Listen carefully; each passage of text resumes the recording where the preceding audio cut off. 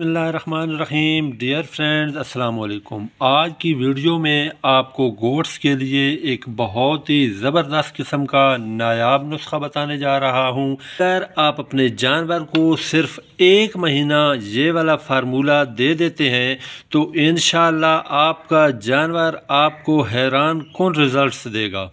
ये हम जानवरों का कढ़ाई हलवा भी बोलते हैं, बहुत ही आसान है बनाना। मैं आपको मुकम्मल तरीका बताने जा रहा हूँ। चीज़ें नोट कर लीजिए फ्रेंड्स, कैसे इस्तेमाल करना है, कितनी मकदार में इस्तेमाल करना है, किस वक्त देना है, और किन किन जानवरों को आप दे सकते हैं। सारा कुछ इन आपको वीडियो में बताऊँगा। सबसे पहले आप आइटम्स और इसकी तरकीब लिख लें। सिर्फ़ तीन आइटमों से ये हलवा बनेगा। घर में हमारी माएँ बहनें इसे बसानी बना सकती हैं। हैं, बहुत ही कमाल का ये फार्मूला है फ्रेंड्स सिर्फ़ तीन चीज़ें हमें चाहिए होगी. नंबर एक, गंदम का दलिया मोटा मोटा आपने करवा लेना है. दूसरे नंबर पे हमें तारा मीरा का तेल चाहिए होगा, जिसे कड़वा तेल भी बोला जाता है. पंजाबी में जमाऊ का तेल भी बोलते हैं. वो चाहिए और तीसरी आइटम है गुड़.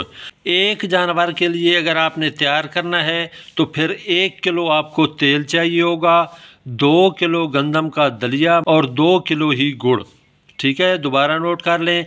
एक किलो तारा मीरा का तेल, यानी कड़वा तेल, दो किलो गुड़ और दो किलो ही गंदम का दलिया। इसे तैयार करने का तरीका कुछ इस तरह से है फ्रेंड्स। नोट कर लें, इंतहाई आसान है। सबसे पहले कढ़ाई या जिस बर्तन में भी आप ये हलवा बनाएँगे, उसमें तारा मीरा का तेल एक किलो, यानी कड़वा तेल वो आपने डाल लेना है।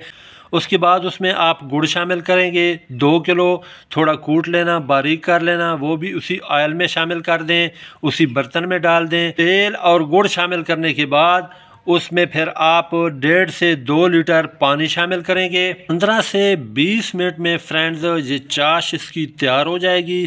साथ में आपने फ्रेंड्स, जो दो किलो गंदम का दलिया होगा, उसे आपने पानी में भिगो लेना है, पानी डाल लेना है। बहुत ज़्यादा पानी आपने नहीं उसमें शामिल करना। बस थोड़ा सा पानी दलिए से ऊपर चढ़ा है ठीक है? पंद्रह बीस मिनट लगेंगे ये चाश बनने में। तो पंद्रह बीस मिनट ही वो आपने दलिया भिगो के रखना है। उसके बाद अगर कोई पानी ऊपर बच जाए, उस दलिया के ऊपर जो आपने भिगोया होगा उसे आप ज़ाया कर देंगे, ठीक है? जब चाश की तार बन जाए, जैसे शहद की तार बनती है तो फिर वो आटा आप उसमें डाल देंगे, ठीक है फ्रेंड्स? तो उसको हिलाते रहें। तकरीबन 20-25 मिनट, आधा घंटा आप उसे हिलाएँगे। बिल्कुल आँच आप हल्की कर देंगे, हल्की आग पे पकाएँगे। जब आयल ऊपर चढ़ाए तो आपका ये हलवा तैयार हो जाएगा। उसे चूल्हे से नीचे उतार लें। बस इतना ही ये मुश्किल है। टोटल तीन आइटम्स हैं फ्रेंड्स, और एक घंटे में आप ये तैयार कर लेंगे। एक महीने का आप तैयार करके रख सकते हैं सर्दियों में। और गर्मियों का मौसम अगर हो तो फिर आप एक हफ़्ता का तैयार करके रखें। अच्छा ये किन जानवरों को आप खिला सकते हैं। और इसके फ़वाद क्या हैं, किस वक्त खिलाना है, कितने मकदार में खिलाना है। देखें फ्रेंड्स ये आप हर किस्म के जानवर को खिला सकते हैं, चाहे गोट्स हैं, आपके बड़े जानवर हैं, गाय है, भैंस है शीप्स हैं, कुर्बानी के बकरे हैं, कोई ऐसा जानवर नहीं जिसे आप ये कढ़ाई हलवा नहीं खिला सकते। हर किस्म के जानवर को खिला सकते हैं और इसके बेशुमार फ़वाद हैं।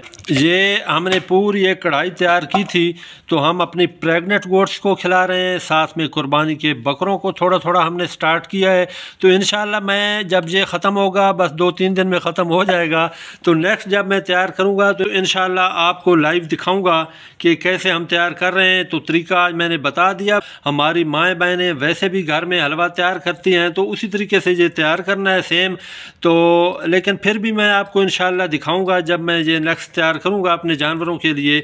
इसके फ़वाद क्या हैं फ्रेंड्स सबसे पहले तो अक्सर दोस्त पूछ रहे होते हैं कि सर्दियों सर्दियों में हम अपनी गोट्स को ऑयल दे सकते हैं या नहीं? देखें, वैसे तो सर्दियों में ऑयल नहीं देते, डालडा घी हम दे रहे होते हैं, लेकिन ये अगर आप हलवा बना के खिलाएँगे तो इस तरीके से आप बसानी ऑयल भी उसे दे सकते हैं। फिर तारा मीरा का तेल, उसके तो यकीन जाने अनगिनत फ़वाद हैं। तो जो आपकी गोट्स प्रेगनेंट हैं, उनकी डिलीवरी से एक माह रहता है तो एक माह पहले आपने स्टार्ट करना है डिलीवरी से।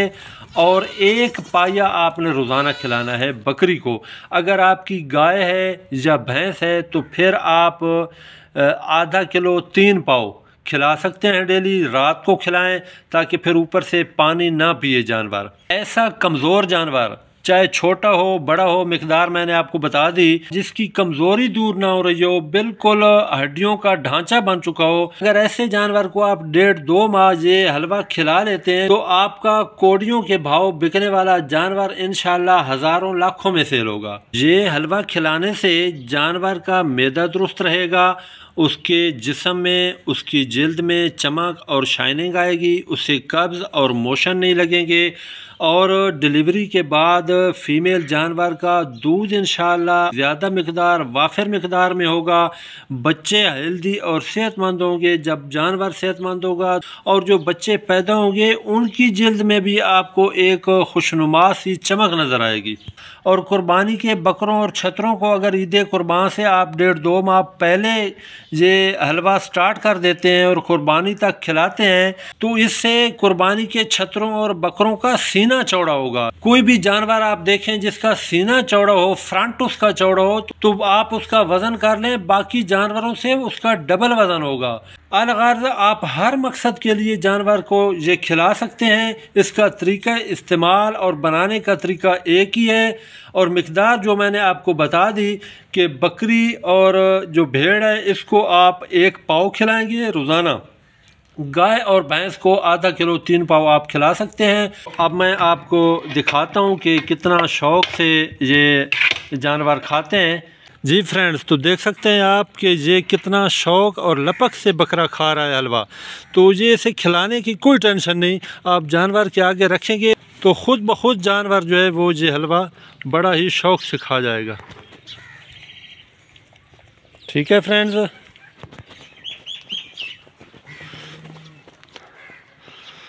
अगर आप अपने जानवरों से अच्छा रिज़ल्ट चाहते हैं, उन्हें फरबा मोटा ताज़ा देखना चाहते हैं, और जो बच्चों वाली बकरियाँ हैं, उनके दूध में इजाफ़ा चाहते हैं, कमज़ोर जानवर को फरबा मोटा करना चाहते हैं तो ये हलवा बना के ज़रूर खिलाएँ। तो इन आपको बहुत ही ज़बरदस्त किस्म के रिज़ल्ट मिलेंगे। तो वीडियो लाइक और शेयर कर दें, इजाज़त दें अपने हबीब भाई को, अल्लाह हाफिज़।